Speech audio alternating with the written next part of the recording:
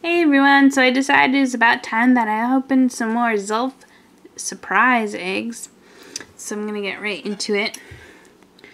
And like I say in I think most of my blind bag videos that my um, duplicates will be um, added to a prize pot for um,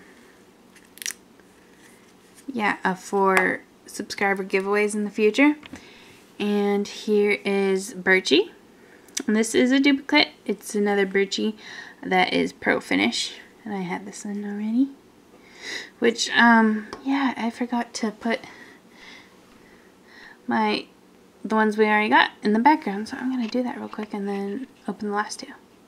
Okay, on to the second egg.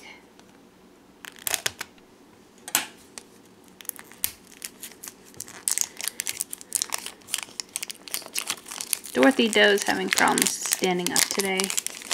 So she's going to just lay down. Oh, another Birchie. Uh, this one's standard finish, which I actually don't have, so it's not a repeat. Yay! Oh, they're all falling down today. And the last egg.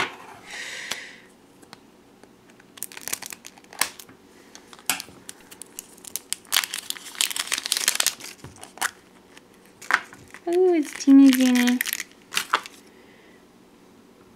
Teeny Genie, Teeny Genie in standard finish, which this is a duplicate too. So she'll be given away at some point. So right now I have a standard finish Teeny Genie, a Dorothy Doe in pearl finish, and uh, pearl finish Birchie.